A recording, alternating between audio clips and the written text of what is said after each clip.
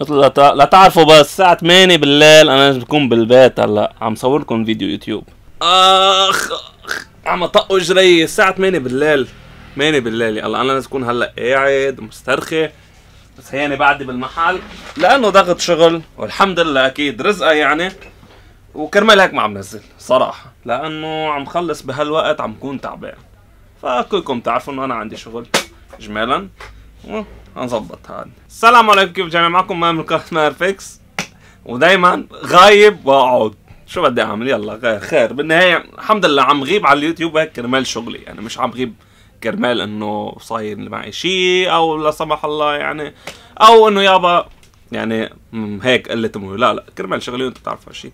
بس بضل حاول قد ما فيني انزلكم فيديوهات شو بدنا نسوي؟ فاليوم حاليا أنا الصراحة ما عندي شيء فامبارح كنت على أساس نزل هذا الفيديو امبارح بس كمان تفليت وكنت تعبان يعني. أه سألتكم سؤال على اليوتيوب قلت إنه خلي عنده أي سؤال شخصي كذا يقول لي وبنحاول نجاوب عليه نشوف شو عندكم أسئلة وفي كتير صراحة كتير.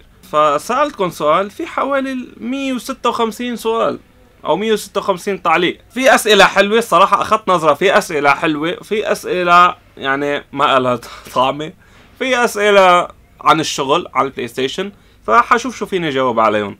يعني حأعطيكم الأسئلة أكثر شيء المهمه إذا في شيء سؤال حاحذفه يعني بالتعليقات بال بالمونتاج. يعطيك العافية كابتن من N 3 H F F اسم غريب.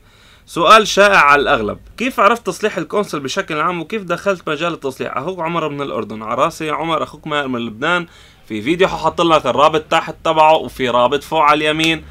هون هيدا الفيديو أنا حشرح حشارح فيه إنه كيف يعني تعلمت المصلحة. مساعد ناصر السلام عليكم ورحمة الله وبركاته. السؤال كيف تشوف تجربتك في محل تصليح أجهزة الكونسول؟ وهل تنصح الشباب يسووا مشروعهم الخاص في هذا المجال؟ أخوكم من أخوكم من السعودية عراسي يا مساعد أخوك من لبنان. آه هلا بحال ليك إذا بدك تشتغل شيء مثلا بهالمصلحة أو بمصلحة التليفونات أو بشو ما كان الشغل إذا الشغلة اللي عم تشتغلها ما بتحبها ما بنصحك تشتغلها دائما أي شيء بدك تشتغله بهالحياة بدك تشتغل شيء اللي أنت بتحبه لأنه بس تكون عم تشتغل بالشيء اللي أنت بتحبه بتعطي يعني الأقصى ما فيك عرفت كيف؟ إذا عم تشتغل بشغلة ما بتحبها أو عم بكرمال مصاري حتى لو شو ما كان المبلغ بتصير تعملها من قفا إيدك لأنه شغلة مش رغبانة أنت عرفت كيف؟ هيك بتصير. السلام عليكم ماهر، هل تشوف إنه في فرق جبار بين PS 4 Pro و PS 5 بجودة ال 4K والدقة؟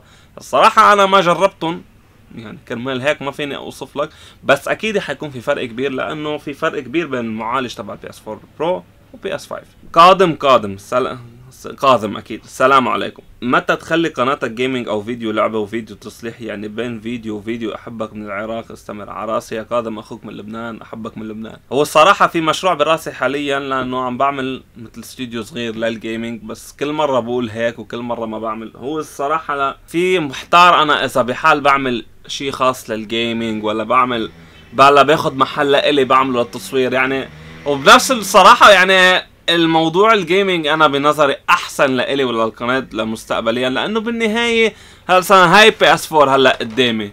ولنقول فيها 19 شغلة و20 شغلة بصلحهم. صلحتهم مثلا لهال 20 شغلة. شو بعد؟ سيبها كل مرة بدي أرجع أصور نفس هالشغلة؟ يعني HDMI انتزعت بتجي بعدين بترجع لعندي بتجي لعندي PS 4 مثلا رايحة ال HDMI تبعها. شو كمان بصور؟ برجع بصور HDMI حتى لي العالم ملينا. صرنا شايفين تغيير ال HDMI 20 مرة خلص.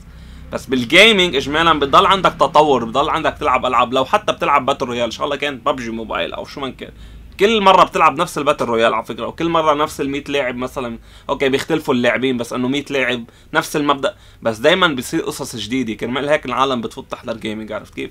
أما بالتصليح يعني آخر شيء بتوصل لما تحس حالك عم تعيد نفس التكرار. ومش كل العالم عم تحضر فيديو التصليح كرمال يابا هي هدفها تتعلم عرفت كيف؟ ولا كل العالم حتصير حتصير مصلحين PlayStation بس أكتريت اللي بيحضروا gaming بيكونوا هن بيلعبوا gaming كمان. يعني 90% أو 95% من العالم اللي بتحضر gaming بتكون هي بتلعب. عرفت كيف؟ لو ما عندها جهاز ألعاب بس بس حلة تلعب تلعب. أما الناس اللي عم تحضر هلأ تصليح ال PlayStation عم بيحضروا كتسلية لياخذوا فكرة بس ما رح يجوا يصلحوا عرفت كيف؟ فبتوصل لمطرح مثل العالم تحضرك خلص. أما بال gaming بالضبط. ليش أداء ال PS 4 بيتراجع مع الوقت بالرغم من الحفاظ على حرا... عليه وعلى حرارته؟ مش أداء ال PS 4 أداء المعالج تبع ال PS 4 بشكل عام لأنه حتى مثل ال PC بس تشتري ال PC أول ما تجيبه جديد بكون ال graphics card مثلا تبعه بعده جديد اللي هو المعالج تبعه بعده جديد بيبقى قويته عالية. بعدين على الاستعمال وعلى الاستعمال وعلى الاستعمال ببلش يتعب شوي هالم- هالمعالج ببلش تخف طاقته عن قبل أو تخف عرفت كيف مفعوله هيك عن قبل يعني بصير يخف شوي شوي. كرمال هيك يعني دايما بال- بال PC يعني بعد ست سبع سنين بتلاقيه صار ميت بدك تشتري تشتري غيره لأنه خلص تعب. والجهاز ال console كمان نفس الشيء محمد عبد الوهاب. السلام عليكم ماهر. هل في PS 4 مش أصلي؟ يعني تقليد وكيف نميز بينهم أكيد لا ما في PS 4 منه أصلي. ال PS 4 لما بتكون أصلية بتبقى معمولة على شكل نينتندو أو معمولة لعبة نينتندو. ممنوع يعملوا PS 4 تقليد أو يسحبوا النظام ويزتوه ب PS 4 تاني لأنه بتيجيهم سوني دغري وبتفوت عليهم بقا يعني بمحاكم ومبالغ مالية هائلة وانه يعني هذا ال brand أو هذا ال- الشيء للشركة تابع للشركة مل- ملكية خاصة للشركة ما فيك أنت تجي تتصرف فيها من راسك. أذكر لنا الأشياء اللي ما حبيتها واللي حبيتها في ال Xbox Series X و S هلأ أنا لعبت ال X اللي حبيته أكثر شيء إنه ال frame ات والجا وال Game Pass وال وال quick resume يعني بشكل عام. اللي ما حبيته إنه ال UI أو فينا نقول النظام تبعه نفس نظام ال Xbox 1 كانت عبالي يحسنوا فيه شوي أو يغيروا فيه شوي. بس هو حتى نظام حلو يعني. وليد محمود السلام عليكم ورحمة الله وبركاته أخي ماهر المعجون الحراري كل كم شهر يتم التبديل هلا مثل MX 4 إذا كان أصلي ومرتب بنروح له سنين ست سبع سنين مهم تضل ال console من جوا نظيفة مطرح ما بتتبرد بتتبرد نظيفة. جوفان ماجد السلام عليكم أخوكم من مصر. هل تتوقع انتهاء حرب الشركات العلنية بين سوني ومايكروسوفت ولا انتهت لو لصالحنا؟ صراحة أنا ما كتير بتابع أخبار ال games وهيك قصص فما بعرف حتى شو عم بيصير بين مايكروسوفت و PS وسوني.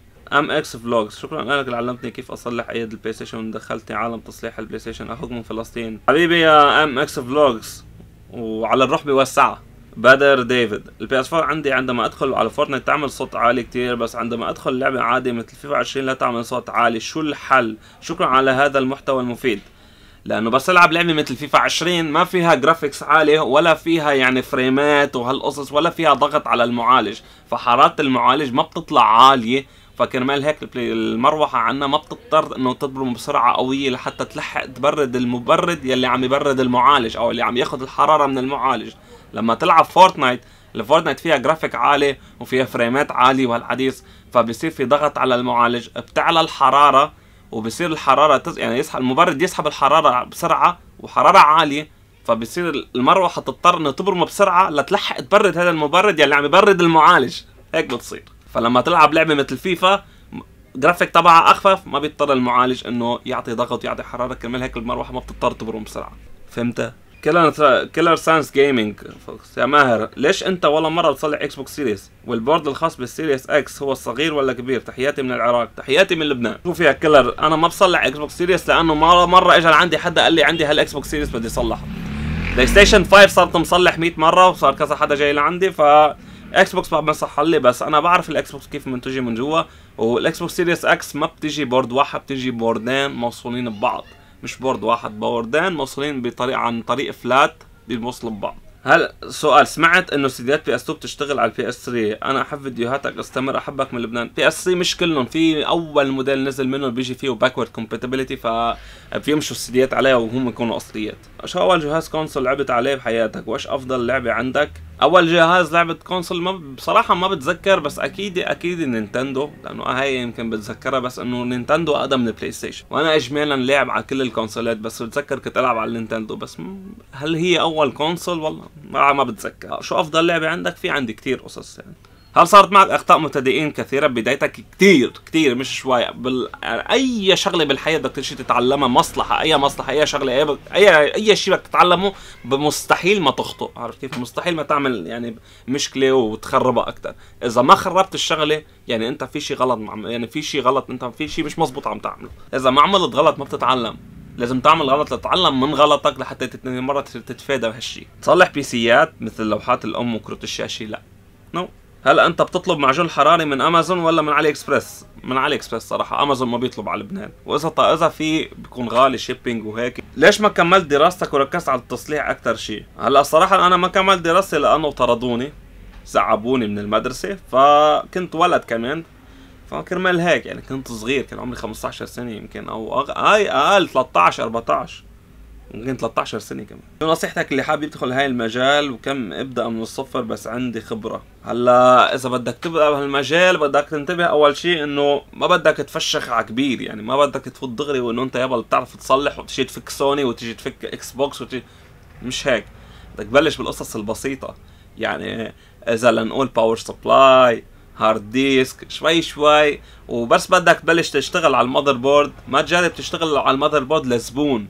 يعني ما تجيب مكنة زبون وتجي تصلح له اياها اشتري مكنة خربانة لإلك صلحها جرب اتعلم عليها صلحت صلحت. خربت أكتر أنت بتتحمل مسؤوليتها هيدي مكنتك وحتخسر انتبه. بدك إجباري تخسر بدك إجباري تدفع تدفع من جيبتك على حالك عرفت كيف؟ على على شغلك وعلى هيدا كرمال تتعلم. انت بدك تعلم نفسك عرفت كيف؟ بعدين بس تصير تحس حالك انه انت قادر تفوت بهالشغلة وقادر قد المسؤولية بتفوت فيها عرفت كيف؟ وبتصير تصلح للعالم بشان لبعدين ما تخرب يعني للعالم. يعني يمكن تجيك بلاي ستيشن انت عم بتصلحها تخرب بزيادة أوكي. مثلا آخر حل عندك انك تغير له ال motherboard. ماشي مش مشكلة. بيجيك الزبون بيقول لك طب أنا بدي البيانات تبع الموجودة على البلاي ستيشن بدي حسابي. حتقول له أنت إنه ما فيني رجع لك حسابك انه بدك اجباري بس تحط له board جديد بدك تعمل له format حيقول لك يا خيي أنا من الأساس جايبها عم صلحها لأنه بدي account يكون موجود. أنا ما معي ال password ما معي الإيميل. هون شو بتساوي أنت؟ هون بتكون علقت أنت وياه عرفت كيف؟ طول الحكي ليش ما بتلعب gaming قلت بأول سؤال. قلت شو عم خطط براسي. والصراحة ما ما عارف إذا بحال بعمل غرفة gaming ولا بنقل من المحل. هلا أنا حاطط الصراحة مشروع بش... أو حاطط فكرة براسي. إنه بلا ما أطلع من المحل هالعجقة كلها شايفينها وراي هاي التلفزيونات وهالديفيديات وول كنت عم فكر اخذ الصراحة مستودع. يعني با يعني مثل محل تاني قريب على محلي هيدا. ما بده كهرباء ولا بده طاولات ولا بده شيء مستودع يكون محل كبير شوي. هول يعني العجقة كلها بشيلها البي اللي ما عم يستعملها وحتى فوق على الطابق الأول بفضيها وبنقلها على المستودع. بصير بس واحد بده شغلة بيروح خمس دقايق على المستودع بيجيب اللي بده إياه هيك ساعتها بيكون المحل صار فيه مساحة أكثر وهيك بيكون صار عندي مجال أكثر إنه أنا أشتغل على هالطاولة ووسعها وهيك بيكون حتى الزبون بس يفوت لعنا إنه ما. ما بيضطر إنه عم يلعب باركور هو فايت عشان ما يخبط له بشي شاشة ويكسرها وهيك أنا بكون يعني ما الصراحه ما بعدت عن بيي لأنه أنا هون يعني تعودوا علي العالم وصرت حتى زبايني يعرفوني هون عرفتوا كيف؟ فإذا بحالنا قلت بصير بدي أقعد لدل العالم كيف يوصلوا على محلي وعلى بحس تفوت طوشي يعني. نقلت المحل صعبه وحتى بنفس الوقت التكاليف حتصير يعني بيي أنا هون يمكن بشيل مع بيي نص بنص أو أكثر حسب يعني أمرار هو بيدفع أمرار أنا بدفع هيك بتصير. فضل شيل عنه بالأجارات. إذا رحت على محل تاني بصير هو بده ياخذ هذا الأجار لحال وأنا بصير بدي اخذ أجار لحال وفي أجار بيت وفي أجار كهرباء وفي أجار توصيلي و... عرفت كيف فاكتبوا لي تحت بالتعليق أي أفضل؟ هل يا ترى أخذ محل لحالي ولا فكرة إنه أشتغل أنا وبيي وفضي المستودع وضل معه؟ يعني أنا هون بضل ساعده عرفت كيف إذا بحال بده شيء بده لنقول يلحم. أنا مثلا بشتغل على الكوي الحرارة وهيك بيي ما بيعرف إذا بحال بدي بدي يشيل IC بيقول لي أنا بشيل إياه وهيك. فاكتبوا لي تحت؟ أعطوني رأيكم. هل يا ترى إنه هيدا الشيء أفضل؟ وهيك منه بضل مع بيي ومنه بقدر أعمل غرفة gaming أما إذا بدي أخذ لمحل لحالي ما راح أقدر الصراحه أعمل غرفة gaming لأنه ما عندي الإمكانية المادية.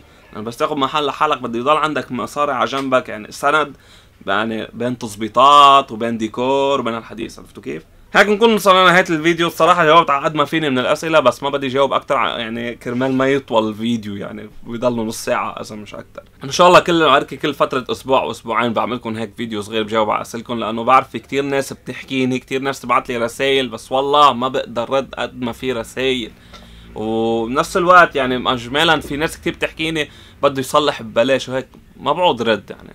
فبحاول قد ما فيني إنه بعمل وقت خاص لجاوب على أسئلتكم ومنه بالأسئلة الشخصية. كان معكم ماهر من قناه ماهر فيكس. بكرة عندي فيديو خاص وحلو حتحبوه إن شاء الله بكرة أو اللي بعده بينزل حيعجبكم هذا الفيديو. ويعني أنا أنا الصراحه مشوق إني أفرجيكم يعني. فكان معكم ماهر من قناه ماهر فيكس. شوفكم فيديو جديد وما تنسوا تعطونا لايك وباي.